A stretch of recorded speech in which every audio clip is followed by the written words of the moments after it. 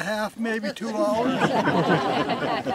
so if you have to go to the bathroom, please hurry and come back because you might miss out on something. The first thing I'd like to show you is I was real proud because one of our uh, photographer persons, what's that?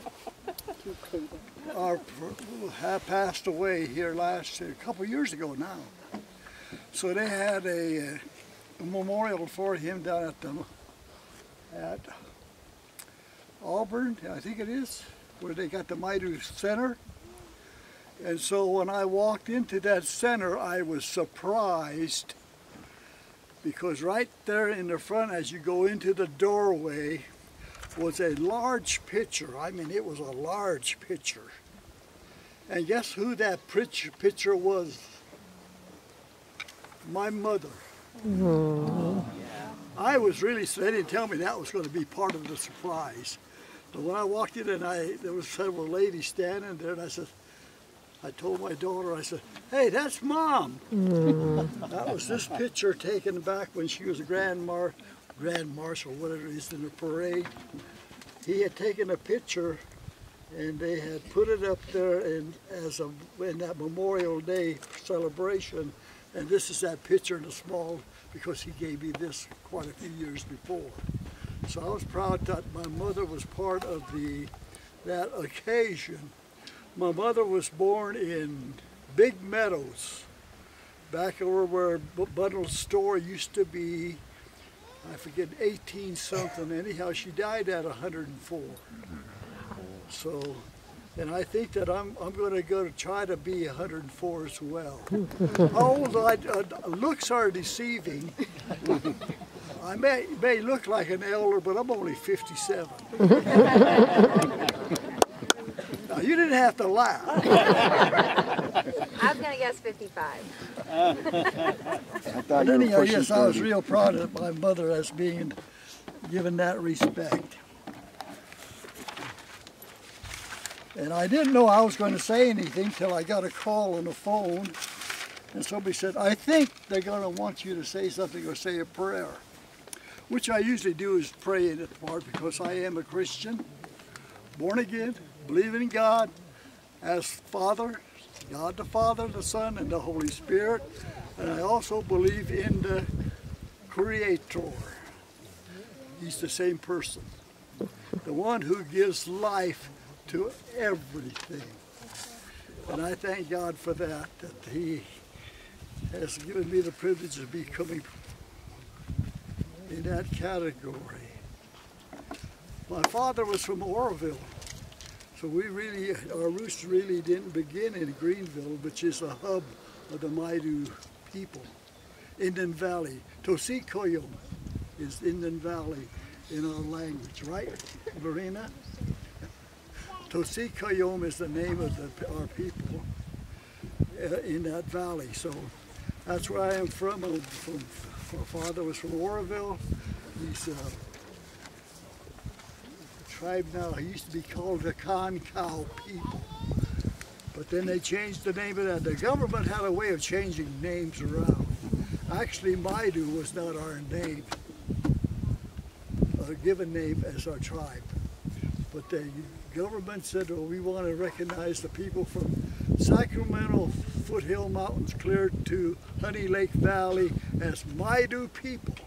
And so there was a scholar at Berkeley, I believe, wrote up a dictionary supposedly of all the Maidu people and that dictionary would be the index if you wanted to talk Indian in the Maidu language. However, it didn't work like that. And I'm going to tell you something. when we were invited uh, that, Mr. Cunningham and I were invited to that get together when he was going to be introduced and uh-huh. with the project that he had undertaken. And so as he got talking, we brought, raised, Mr. Cunningham raised his hand, started questioning him on different things, and I uh-huh. likewise. But it don't work like that as you come from Oroville on northward, the languages begin to change a little bit. But this, this to me, this was the funny part. It wasn't to him or it wasn't to maybe some of the others. Before he gave up, came up, they had a Pendleton blanket, a huge Pendleton blanket, a beautiful Pendleton blanket. to present it to him as being uh, one of the leaders of developing the Maidu language into a dictionary. So as he got started in his conver- class on why it was so important, he got angry at Mr. Farrell and Mr. Me. He got angry to a point where he said, well, hell with you Maidu people. I'm out of here. Took his Pendleton blanket, folded it up, put it underneath his arm, and left. Well, I'm not afraid to say anything because I was a Marine. They want you to pray. Oh. Say that. Did you say, did you say, say I said, anything? I hollered two way them and you didn't. Anyhow, so You don't, I will. You want to take over? supposed to pray. Atop Canupi. Well, McCarty, you hung. You know what I said when I said atop Canupi? Shut up. you didn't know that word, did you? I didn't know that word. Away at them. Don't say too much.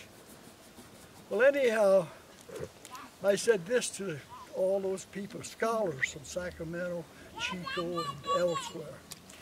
I said, let us native people learn one thing. Don't give a white man anything till he finishes. He took his blanket and he left. He didn't finish. So, but I'm not going to get no Pendleton blanket. So, that's out of the picture. Okay, if that's, if, I didn't, I didn't know really what I was going to do here. Now, when I got heard you say that, well, he's going to uh, say a few things, right? I guess I heard right. But apparently, my sister-in-law, who has a big mouth, just like I have a big mouth, at the corner beyond. You know something? She's not the boss.